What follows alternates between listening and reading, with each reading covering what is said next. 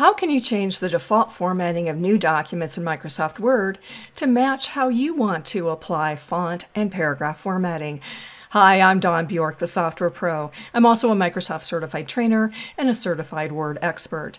In this training, we'll focus on customizing how you want to work with new blank documents in Microsoft Word.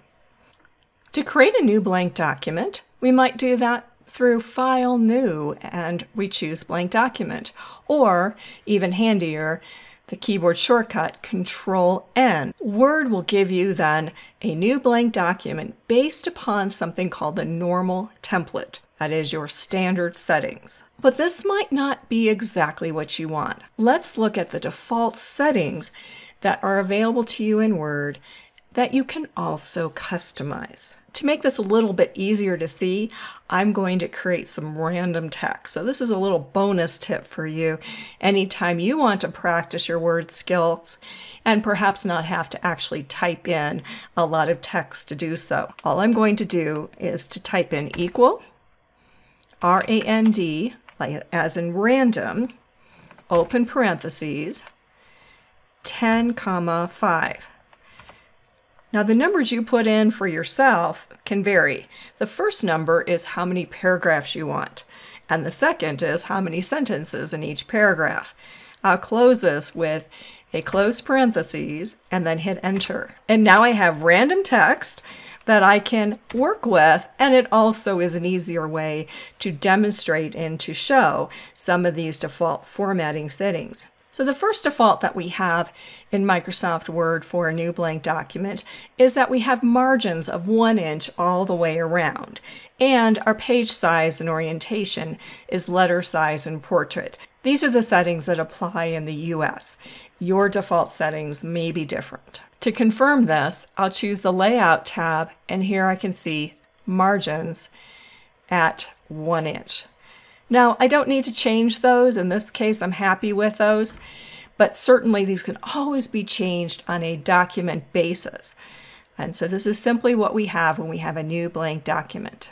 As you can see here, our line spacing is not single spaced. Let's look at the default settings in Microsoft Word. So from the Layout tab, this is one of the ways I can get here.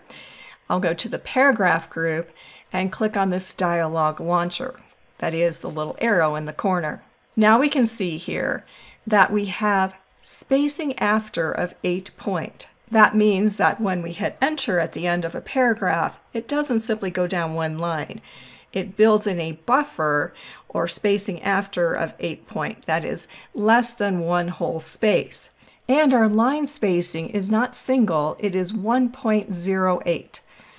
Now these were all built in to create what might be considered to be more typographically appealing or more visually appealing text. However, that might not match the standards that you're accustomed to with the documents you work with in Microsoft Word. For right now, I'll cancel out of this. We have one other default that also might be something that you want to change. I'll move to the Home tab so you can see this. And that is that our default font is Calibri 11 point. If your organization works with Times New Roman or Arial, or you want it to be 12 point, all of these things can be changed either per document or for each new blank document. And that's what we're going to look at is how can we change that? Here's a little tip is that if you simply wanted to change it for this document or for only certain paragraphs, I could select these in the Home tab under Styles, there's an option here called No Spacing. And so for the selected paragraphs, I could change those to not have any of that spacing afterwards. And certainly it can be really frustrating if, let's say, you're creating a letter or you want to type in the name or the address. You type in name, hit enter, and now it just simply jumps down, and that's not the look that you want to have. So how can we change these default preferences?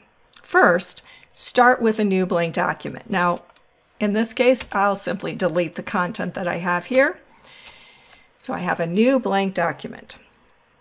Next, we'll look at how to change font formatting. So if my preference was that I wanted Times New Roman 12 point, Then I would go to the Home tab, go to the Font dialog box, and we can get there either with Control D or by clicking on that dialog launcher, that little arrow. And I'll find the font that I want to have as my default font for all future new blank documents.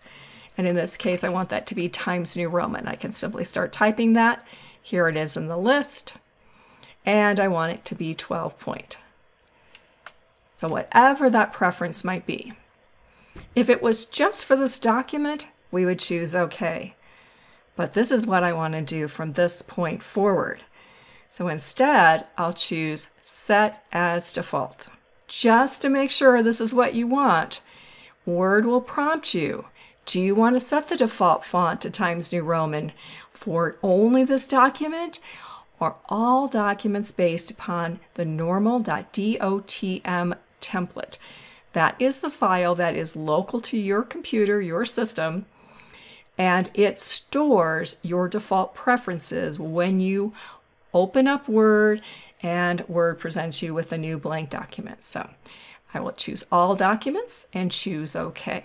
So that's one side of it. You may not choose to change the default font. Perhaps all you want to do is change the line spacing. Let's look at how to do that. For many people, the default paragraph spacing is much more difficult to work with and time consuming to change in each document. Let's look at how to change the default paragraph formatting to one that works for you. Once again, we're in this new blank document. You don't have to start another one to do this. We're not even going to save this file. It's simply to set our preferences in the normal template. We'll move to the paragraph dialog box. And there's several different ways to get to that.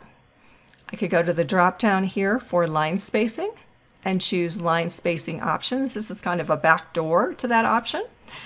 Or, as we saw before, we can go to the dialog launcher or this arrow. That will also open up the paragraph dialog box.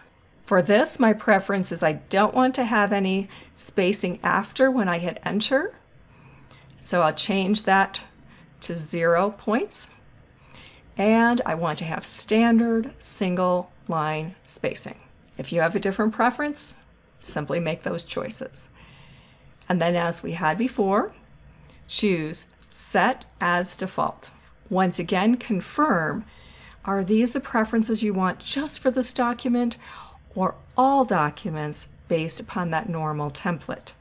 In this case, I'll pick all documents and choose OK. Those formatting changes have also taken place in this new blank document. But let's see what happens when I create a brand new blank document. As I mentioned before, we could do Control N for new.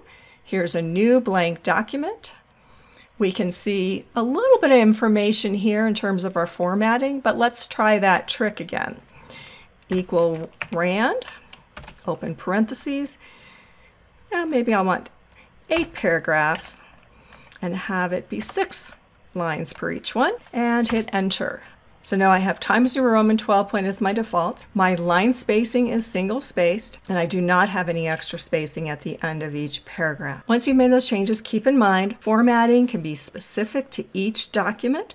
This is simply how you want to change your blank new documents. Depending upon your user options, that is, depending upon what you can change on your system, you'll likely be prompted to save the normal template when you exit Word. And so I'll exit out of Word. I don't have to save any of these documents. Now I have a new session of Word with my new preferred default settings. Now you've seen how to save time and effort by changing the default formatting for your new blank documents in Word. For more tips on being productive with Microsoft Word, head to thesoftwarepro.com slash word. If this training was helpful, please like and comment on this video and subscribe to this channel. This is Dawn Bjork, the Software Pro. Thanks for watching.